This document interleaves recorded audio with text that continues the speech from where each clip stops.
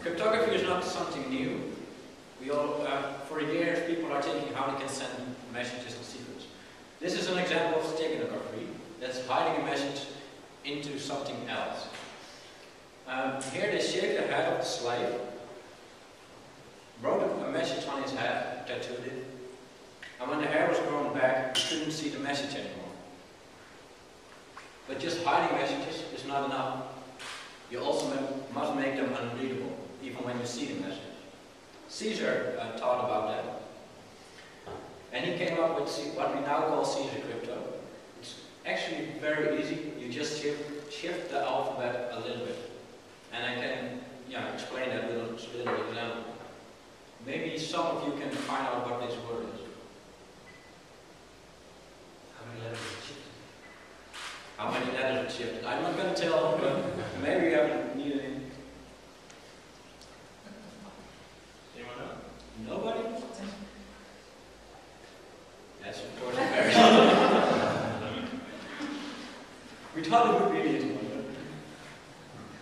but This is an even more complicated form of cryptography. You can use a piece of parchment, wrap it around a rod, and then write a message on it. And when you unwrap it, it's no longer readable. You get a string of letters that you don't know in which order you have to read. Cryptography developed further. This is recent cryptography, this is PGP. This is the public key of Aram Bartholl. He's an artist and he wrote his own public key. And yeah, it's you can guess that it's slightly more complicated but now. It's an arms race that's go going on for a long time. This is the Enigma machine from the Second World War. The Germans used this to send secret messages to the U-boats. And if we couldn't decipher that, the war could have lost like four years longer.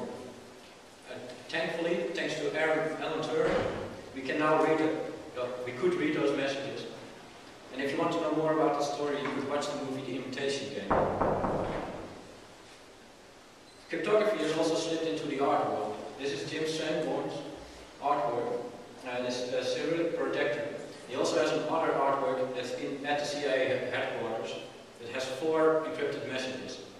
It's 25 years old, and one is still not in, unencrypted and not readable by other people. So if you, anyone wants to try, you can try to decipher that message. You also have visual cryptography. If you, in this case, overlay the two squares on the left, you get the image on the right. But cryptography is also came also into our daily world. Currently, WhatsApp is also using cryptography. But on the internet, mostly, we still use old-fashioned postcard that you can take out of the mail, read your email, and anybody that's in between you and the receiver can know what is sent. And I think it's time that we move to post to envelopes and that at least the message is harder to read. In the article they also talk about how we could do it in a different way. This is a recent encryption method, and it's Kardashian Encrypt, where you can hide messages in images of Kim uh, Kardashian.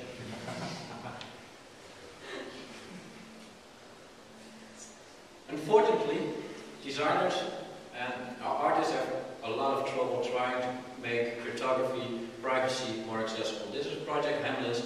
A project that has quit for about a month now. They try to make a good, well-designed app with, with, with, which you can send messages to each other, and don't have to trust a second party, a third party. And that's why we want more designers and more artists, because examples like these quit and somehow never really make it. And we think it's important with every, every message we send, every email, the entire digital life, that privacy should become more accessible. And that's what we want, want to ask you designers and artists. And I hope there are a lot of you in here. I was wondering um, um, what we should know about the difference between keys and the message. Is there something that we should um, explain, or is that too nerdy? If you if you take this example, we have an encryption method that is changing how many, uh, changing the alphabet, shifting it to slide a little bit. But the key is how many uh, letters we shift. For example, if we choose to make B a C, the key is 1. We also could make it harder and make it like 5. And then instead of the A becoming a B, it's becoming an F. And it's important that when you ex um, exchange encrypted message, that you both exchange the method with which you encrypted, but also the key. And that's the hard part, because nobody else except you and the one you the message to read should know. So we should agree beforehand that we're going to shift at all five letters, but we don't want anyone to know that we're shifting from five. It could six, it could be, you know, who knows? Of Maybe course, it's a very simple example, but so you have to exchange both the key and messages in cryptography, and that's why people always talk about keys and messages. Um, yeah. And once you've done the key, then you can finally start sending the messages in, the, in your chosen scrambling. we're not going to use 5 anymore, because you know. Yeah.